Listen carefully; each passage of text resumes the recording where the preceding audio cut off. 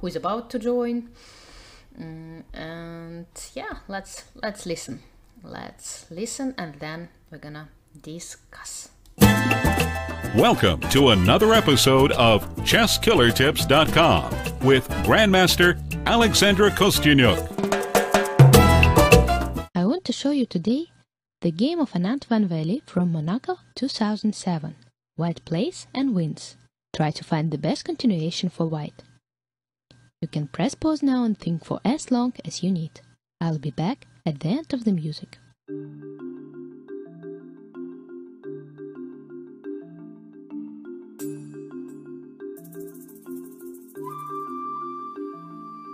I am back. Anand won the game by playing a brilliant sacrifice rook takes g7. Black has to take on g7 since after knight takes d5 he will get checkmated after rook h7. So Van Wely played king takes g7. The game continued rook g1 check, king h8. Another very nice move by Anand, bishop h6. And here black is not able to defend from checkmate, since after knight takes d5, there will be checkmate after bishop g7. If black plays after bishop h6, knight h5, there will be another checkmate combination after bishop takes f8, rook takes f8, rook g8 check, rook takes g8, f takes g8, queen checkmate. If black after bishop h6 plays rook g8, then white will play f takes g8, queen check, rook takes g8, queen takes g8 check, knight takes g8, bishop g7, checkmate. So the game continued after bishop h6, Van played knight g4, hoping that after rook takes g4, rook takes f7, Anand will make a mistake by playing queen takes f7. Since here, after bishop g5 check, rook takes g5, he will lose the queen after queen, queen takes f7. But Anand was precise till the very end and played queen takes a8 check. And since white is a piece up, Van Wely resigned. As the second world champion, Emanuel Lasker once said, the hardest game to win is a one game. So make sure to pay attention till the very end. This is the first game of the semi-final. I am playing white against Zhu Chen.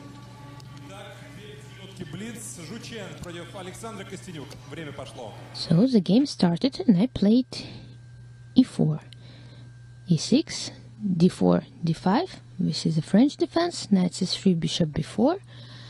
And here I opted for a quite rare a3 variation, but this variation has a long history. It was first used at a high level in the World Championship match between Alexander Alekhine and Max Euwe in 1935. After that, the discussion was continued in games between Vasily Smyslov and Mikhail Botvinnik in their matches of 1954 and 1957. Many grandmasters have used it, including Fischer, but it was found a better continuation after bishop b4, which is um, e5, and a, a3 is now used more rarely. So we see that Zhu Chen played bishop takes e3, b takes e3, uh, d takes e4, queen g4, knight f6, queen takes g7, rook g8, queen h6, rook g6, uh, and I played uh, queen d2. Queen e3 is another continuation. If you'd like to see this game in full, as well as all five games I played at the Golden Blitz tournament, commented by me, you can order my new DVD for only $19.99. The original DVD with parts of most games, men and women sections, commented by Grandmaster Joël Lautier, is also available on www.chessqueen.com. Both DVDs are a great gift and a very useful training tool. Buy both DVDs and I will send you my new book Play Like Kosteniuk autographed as a special gift.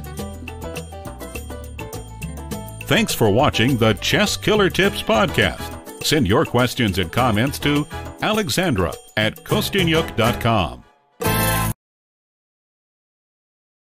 Okay, I hope that you're gonna support this uh, Chess Killer Tips podcast. Uh, it was said there how what are the ways to support it, but uh, let's discuss whatever um, had been discussed in that episode.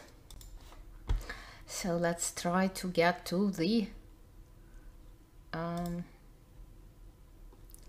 to the classroom. To the classroom.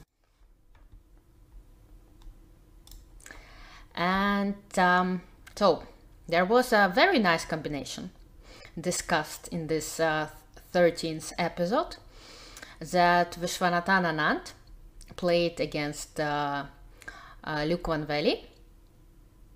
Oh yeah, I have I have these DVDs and these books at home, so I need to get rid of them so I can we can discuss a very good discount. Uh, but yeah, to tell you the truth, it's been a while. Mm -hmm. Okay, anyway.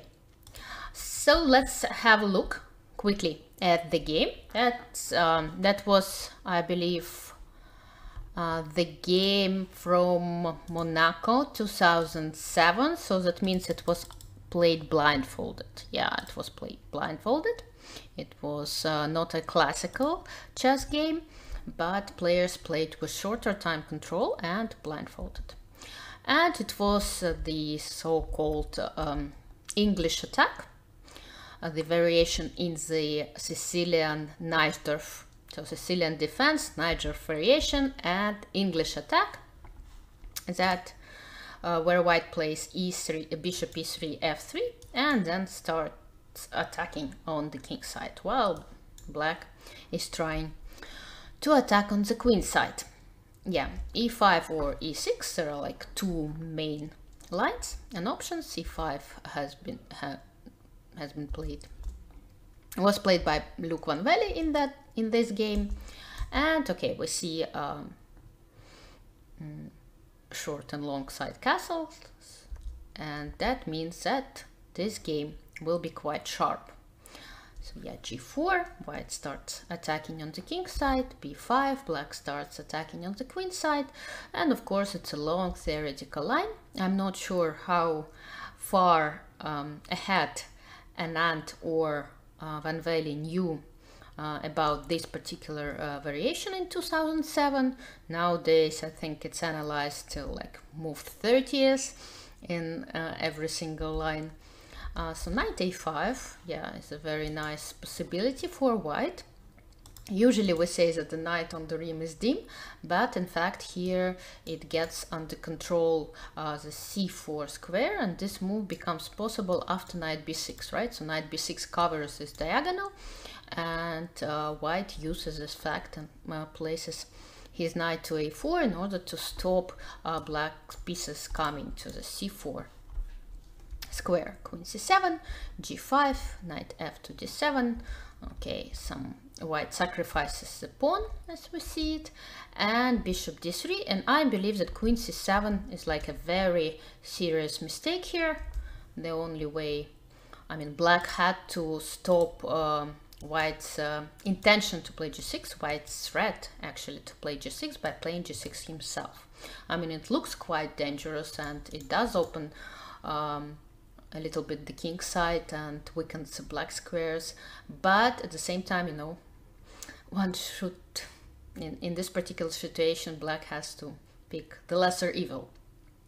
And here since g6 is so uh, unpleasant black has to stop it had to stop it uh, himself by playing g6 first.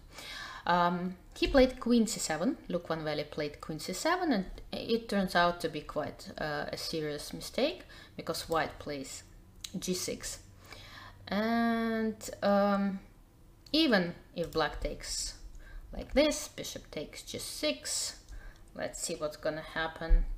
For example, after knight f6, after knight f6, I think bishop takes f7 is gonna happen. And then if the rook takes, the rook is hanging here. Um, so,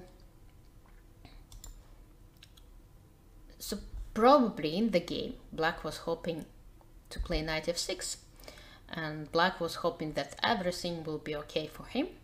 But in fact, he missed a very nice tactic, mm, quite an unexpected one, but at the same time, when the pawn reaches the seventh rank and it's so close to the king, uh, I mean, there are motives that start to appear. And Anand here, as we saw in the Chess Killer Tips podcast, played rook takes g7, a brilliant rook takes g7, using the fact that the queen cannot be really taken because of this checkmate. And actually, two years later, there was another game played in Cuba uh, where black lost almost identically. In that game, black played rook a to c8, but rook d to g1 followed, and then black resigned. In the game between Anand and Van Wely, uh, black took on g7, but unfortunately for them it's not enough because the pawn is taking, take, I mean, is controlling the g8 square, bishop g7 is threatening, so, mm, and if the knight, for, for example, goes to h5, then I believe bishop takes f8 and rook g8 will follow. So black tried to stop the attack via the g file by sacrificing the knight and taking the pawn. Of course, uh, queen takes f7 would be a serious mistake because of bishop g5 discovered attack, but white took another rook and black resigned. So quite a catastrophe for uh, Loek Van Wely. And uh, again, again, I think it was because of this mistake, not exactly in the opening, in the middle game rather, but in this kind of lines, in this kind of variation, if you play the sharp variation, you really need to be precise. One mistake can be the decisive one. And if we talk about uh, did I ever participated in blindfold tournament? Well, I haven't had a chance to participate in the Monaco tournament, uh, but I did have a chance to play in the uh, Sport d'Accord Mind Games. It was called in China. I went there almost every single year, and uh, there were a few years, I think two or three years, where we played uh, blindfolded. It was an interesting experience.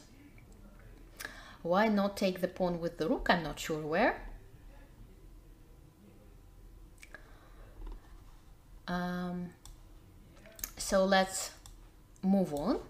I've uh, picked a few more examples where white sacrificed the rook similarly on g7 and as I said when the pawn when the white pawn is on f7 and uh, the king black king is uh, close to the spawn and in on the king side it means that something went um, something wasn't really played um, wasn't something went wrong i mean before that because uh, if the pawn is here and it's not been taken and it's supported um, by a white piece and the king is here i mean it just looks very bad. And such tactical motives as rook takes g7 they just happen they just happen. If your position is strong if your pieces are so well placed if your pawn is so far advanced that uh, actually you must look for such brutal decisions uh, because um, it's often the key to win. Rook takes g7 here, it's just another example, where this pawn together with uh, the open g file and together with all the pieces around the king just brings uh, this nice possibility to sacrifice and finish the game with a beautiful tactical firework, which is quite easy to find. Um, bishop takes f8, just as simple as that. And after bishop takes f8, rook g1, black just resigned. because there is no really way to protect from uh, to protect the eighth uh, both the squares that actually the pawn is uh, attacking because rook g8 is a threat and if uh, black plays bishop g7 then there is a checkmate by uh, queen e8 one more example. One more example is also didn't go quite well for black. We see that actually black also mm, has quite an advanced pawn but it's nothing compared with this pawn and white is way ahead bishop h6 is possible here but in the game rook takes g7 was played and it's a strong move but again sometimes it's so easy to find such strong moves because your position is just um, such a good position mm -hmm. this one looks a little bit more unclear but then rook takes g7 happens anyway and we see that this queen is sitting on two chairs as we say and uh, if it takes on g7, then queen takes e2 will follow with an extra, with two extra pawn, two extra pawns and a better position.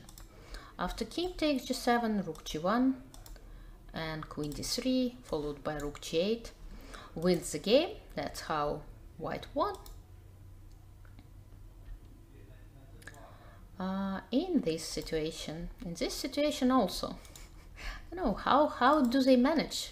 the question, the most important question, I think, how does white manage, right, to get this pawn to f7? Usually it's the g pawn who makes a career.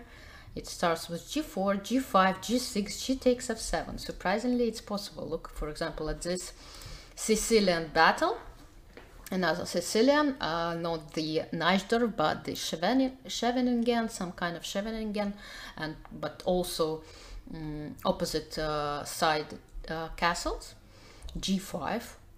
White decided to sacrifice the piece. Computer doesn't like this decision. g6, but that was um, basically main white's idea. And black had to take on g6. And instead they just led the pawn to f7 and the position became quite unpleasant for um, black because after knight takes f7 bishop d4 look at this beautiful bishops that just simply um, play such a huge role in this attack. Because if black plays g6 and queen h5 comes. And that's what happens when all the pieces are just attacking um, the king.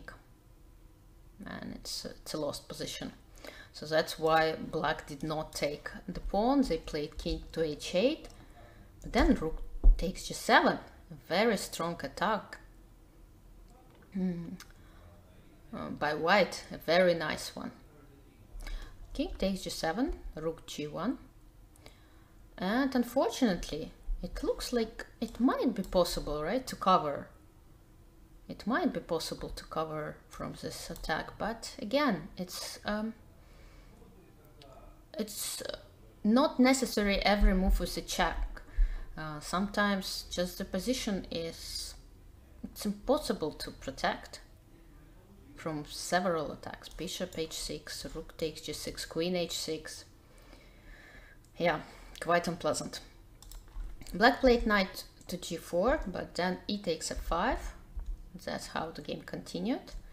Queen f3, and then bishop d4 is threatening. So black tried to to protect this diagonal by bringing the knight to e5 and queen to h3. And again, somehow black's pieces are just too far away or too badly placed. There, there are so many pieces, but they are not really protecting the king. Knight e5, queen h6, king h8, bishop d4.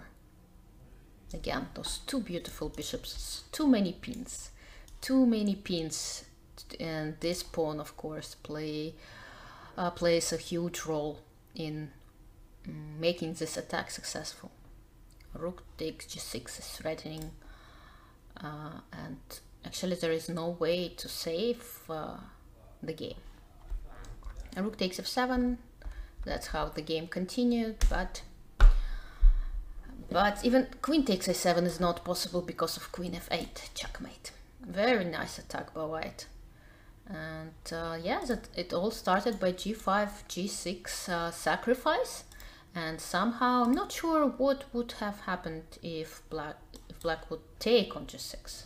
Actually, I'm not sure. I'm not sure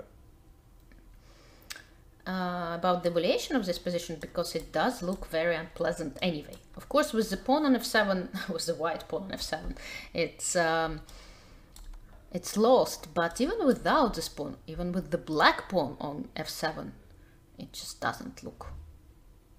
I mean, it's might be possible to save this game, but it will be quite unpleasant.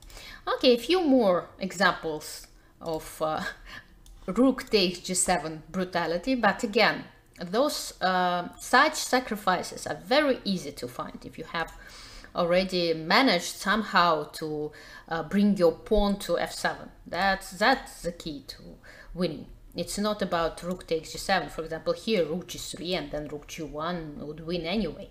And rook takes g7, of course, is more uh, spectacular, but it's not necessary. It's beautiful to win in, in such a style. Yes, I agree.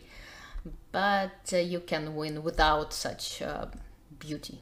It's nice to win uh, a game and win a beauty prize at the same time, right? Very beautiful uh, combination by white and a very unusual checkmating that. I don't really remember seeing one like this in my practice. Mm, black took on e8 in the game, but it doesn't help them because rook g8 is threatening, and after queen f7, queen h6, um, white is just winning by playing rook g7. Yeah, those pieces, they work beautifully together. And if queen f8, that's how the game continued, queen g6, and black resigned. Because, well, rook g8 will follow or even rook takes b7 um, whatever you like. And the last the last example. Also the g pawn somehow I know it was not on the g pawn it was an the f pawn who reached uh, f7 again white sacrificed a piece for that. They sacrificed a piece. And somehow they managed to get the rook to the g file, which was not very obvious. They just went via f5 to g5 and just destroyed the king side. Yeah. And again, those beautiful bishops. The pawn, the beautiful bishops, the weakened king, everything works for white. And another very nice and beautiful attack. Yeah. Queen to e6. Everything seems to be possible when your pieces are placed uh, so strongly. And just, yeah, another pin. Okay, and that's how white won. And that's how white won. And actually, that's what I wanted uh, to share with you about Chess Killer Tips um, episode 13 that's one part of uh, my stream today. And another one another part that uh, we can talk and actually one